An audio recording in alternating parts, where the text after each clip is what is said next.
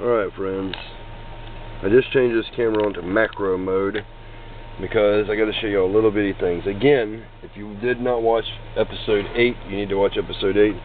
I made this little needle thing, so I have a handle to hold it, to poke holes through a dram jar lid. And this is for extremely, extremely tiny tarantulas like very, very small. This is a Kochiana Brunnipes sling.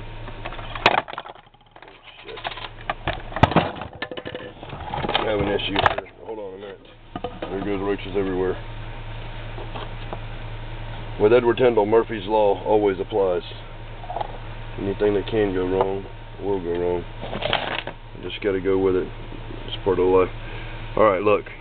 This is Kochiana Brunnipes. I don't know if you can see that or not. But this is, where's my needle thing? Here is a needle. You can see the tarantula right there. See how small he is to the point of a needle? Not very much bigger.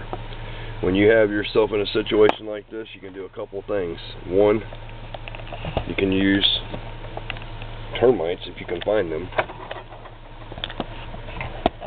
Macro mode does not work very well if you don't have plenty of light this light's not working right. I don't know what to do about it. Wish I could get y'all better view. This really aggravating. I apologize.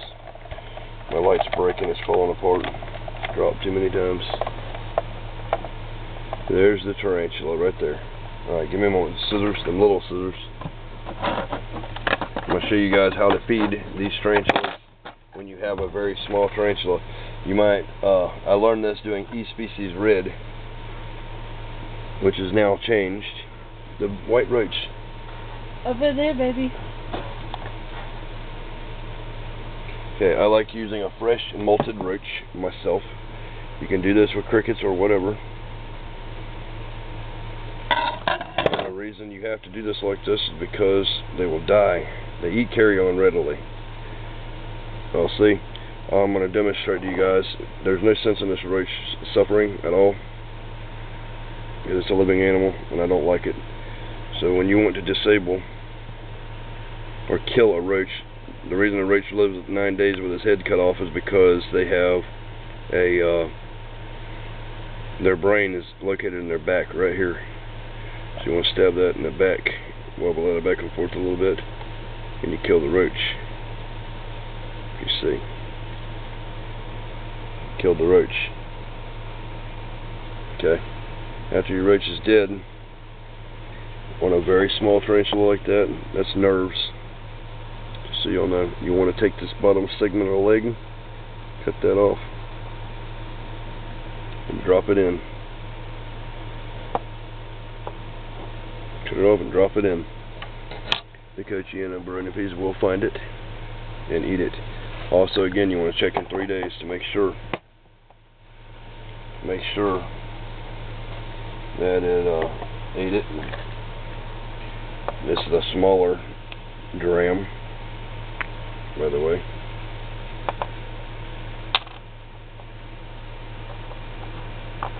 There's also one in here somewhere. Yeah, there it is right there. I don't know if you can see it or not. It's there. They're very, very tiny. This video isn't made, I'm not making this video so you see the spiders. I'm making this video to show you guys how tiny and precision you have to be in that. That one little leg will help get you through a couple molts, or a molt, maybe. It's very important. Here's another dram. I'm just using Kochiana Brunnipes right now because it's a very small tarantula. I just happen to have some uh, very small slings of this species. I don't have E species red which is also extremely small. They're about, I guess, about the same size. Anytime you get into dwarf tarantulas, you can expect a very small tarantula. They do grow fast, though, and they're very rewarding. I love them. You keep a lot more of them in a very small spot, very small space. Um, and I also use these uh, these type pill bottles here. These pill bottles here that I poke holes through. These you get uh, if you got a grandpa or grandma or something that are on a lot of dope, you can get their bottles, wash them out, ask the pharmacy for snap cap lids, and it works absolutely amazing.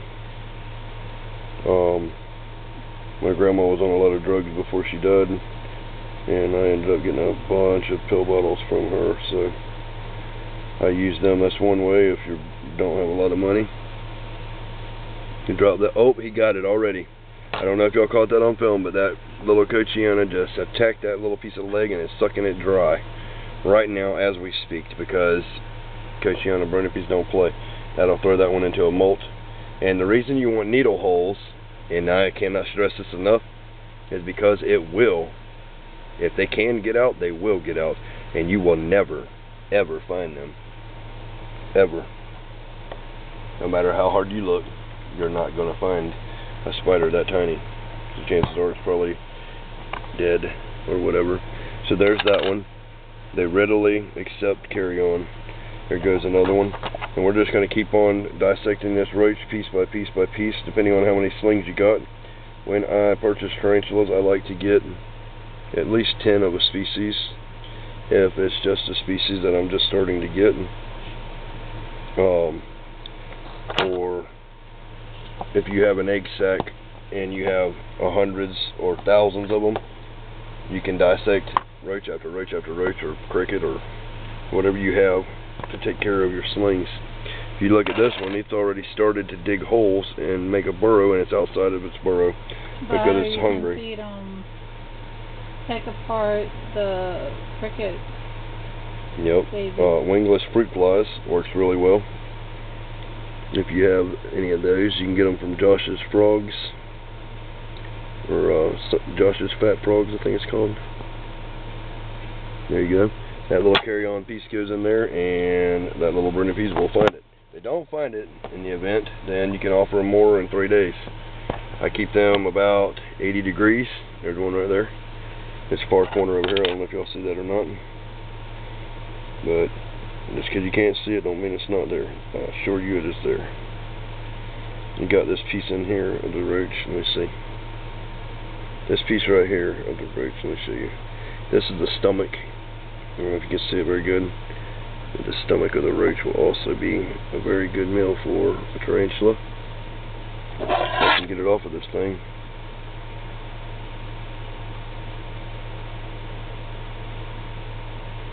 Have an issue with the ooey gooey stuff, but I can get it in there. Oh, it's scaring the hell out of a tarantula. You just gotta be patient with it, people. It can seem like a messy thing or whatever, because it kinda is at some point, but that roach's gut does not want to come off of there.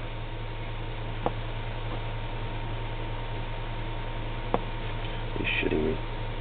Right, the spider's trying to get this. He knows there's something coming. You don't know what. It's on the side. To be honest with I've never had this much trouble getting this off here. I don't know what the hell's going on. Alright, there we go. Alright, it dropped down in there, and that little Kochiana will get it. Um, for water, I always put a little piece of sphagnum moss. Make sure it's from a clean source that does not have um, insecticides and stuff. If you have insecticides, something as small as Lysol can kill your tarantulas. You want to keep them out in an area where you're not spraying Lysol. Fly sprays, poisons, stuff like that will kill your tarantulas. Just don't do it. If you live in a city where you have a bug exterminator, um, they could kill your tarantulas. They're very susceptible to poisons. I don't use poisons at all myself because I don't like killing a lot of shit. A lot of a lot of uh, a lot of poisons you buy says kills so many types of spiders and so many types of this and that and the other. Why would anybody want to kill any spider? If there was, I wanted to give y'all an important piece of information right now that you might not know. But with the amount of humans that are on the earth and the amount of spiders that are on the earth, spiders eat, I think, three times as much meat as humans do. And that's other bug meat. So if you don't like spiders, or you don't like a bunch of other bugs, pests, Spiders are protecting us from that, just so y'all know. So y'all don't kill spiders, you'll be doing yourself a favor. Vegans are costing the world to end, really, because they think they're helping humanity by being vegetarians, but that's not the case. What's really going on is they uh, they have um, they build progressed uh, crop land to grow their crops that are genetically enhanced, altered corns and everything else anyway. It's no good for you. And then they spray insecticide which is killing the honeybees pollinating which produces 80% of all the food we eat. And not to mention all the spiders that it kills, and that's one reason tarantulas are going extinct in the wild because of progressed uh, cropland. It really sucks. Breaks my heart. Especially when vegans tell me, oh, you're such a bad person because you eat meat. That really ticks me off. But there is that. Um, I know that's a lot of, uh, there's a little bit of water in here. That seems like a big piece of roach, but it's carrion. They will eat it. That covers all of extremely, extremely tiny slings. And I'm going to cut here so I can give y'all part 10. Make sure and watch the whole series. They're going to playlist thanks to Magical Sarah Tyndall. Um, peace, love, and happiness and all that good shit. Don't forget to ring that bell so you have notifications when uh, I uh, upload a new video. Edward Tyndall, Sarah Tyndall, everybody else Tyndall out.